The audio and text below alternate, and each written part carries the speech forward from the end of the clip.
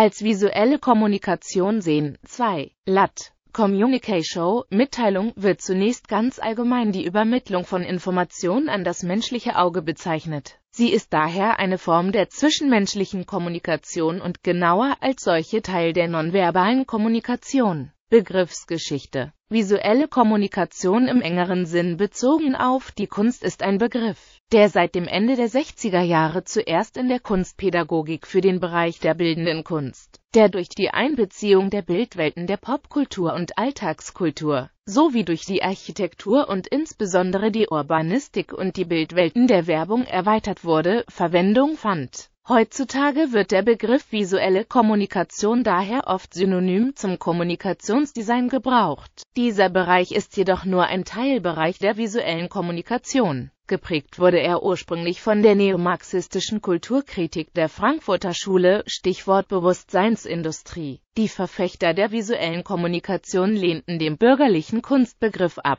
nachdem die Kunst ihre Legitimation aus sich selbst beziehe und der ihre ökonomischen sowie gesellschaftlichen Bedingungen leugne. Der wahren Charakter der Kunst und die Möglichkeiten der Manipulation durch die Massenmedien rückten mit dem neuen Begriff in den Vordergrund zwischen den Produkten der etablierten Kunst und denen der sogenannten Kulturindustrie (DH) der Massenmedien wurde in der Ideologiekritik der visuellen Kommunikation nicht qualitativ unterschieden, da beide Bereiche als repressive Instrumente der Legitimation von Herrschaft galten. Als zunächst einzig legitimes und anzustrebendes Ziel der visuellen Kommunikation galt die Umfunktionierung der Bildmedien zur emanzipatorischen Aufklärung in der Marketingbranche wird der Begriff visuelle Kommunikation ebenfalls als Oberbegriff für alle mit dem Auge wahrgenommenen visuell kommunizierten Informationen gebraucht. Wichtigstes Beispiel wären hierfür die Plakate, speziell die Werbeplakate. Mit Hilfsinstrumenten beispielsweise Attention Tracking, Recognition Verfahren oder Recall Verfahren versucht das Marketing die Wahrnehmung messbar zu machen. Die Studiengänge Visuelle Kommunikation an Universitäten Kunsthochschulen oder Fachhochschulen umfassen heute meist die Bereiche des Kommunikations- und Grafikdesigns und der Fotografie, teilweise aber auch die Film- und Medienkunst sowie die bildende Kunst. Bislang schlossen diese in der Regel mit den akademischen Graden Diplom-Designerin bzw. Dip-Designerin oder Diplom für visuelle Kommunikation ab im Zuge der Bologna-Reform werden jedoch an den einschlägigen Hochschulen die akademischen Abschlüsse den Bachelor Master of Arts Graduierungen angepasst. Gebärdensprache Visuelle Kommunikation bezeichnet auch die inhaltsunabhängigen Aspekte einer Kommunikation,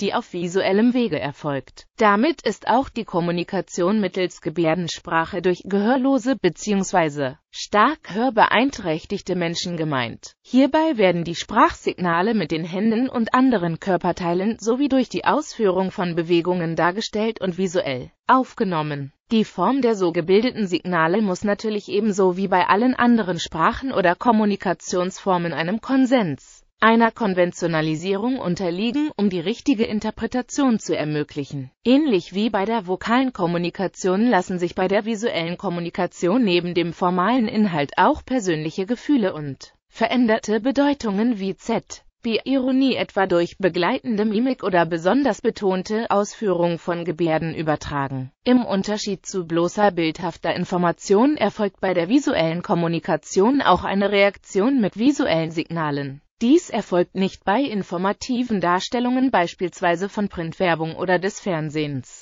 Diese Darstellungen werden im Sinne der Gebärdensprache daher nicht als visuelle Kommunikation betrachtet. Video oder Fernsehtechnik können jedoch dazu benutzt werden, eine visuelle Kommunikation in Gebärdensprache zu betreiben. Militär beim Militär wurden und werden teilweise noch heute Befehle per Handzeichen oder Flaggensignal übermittelt. Vor Erfindung und Einführung des Funkgeräts war dies die einzige Möglichkeit, schnell und unmissverständlich Truppen und Schiffen über längere Strecken Befehle zu erteilen und gegebenenfalls Rückmeldung zu erhalten. Diese Methode hat jedoch zwei entscheidende Nachteile zum einen muss immer Sichtkontakt zwischen Befehlshaber und Empfänger bestehen, zum anderen hat jeder Zusehende die Möglichkeit, diese Zeichen ebenfalls zu lesen und zu entschlüsseln, auch ein Gegner. Siehe auch Gestützte Kommunikation, unterstützte Kommunikation, Gebärdenunterstützte Kommunikation. Bildtelefon, optische Telegrafie, visuelle Kommunikation über weite Strecken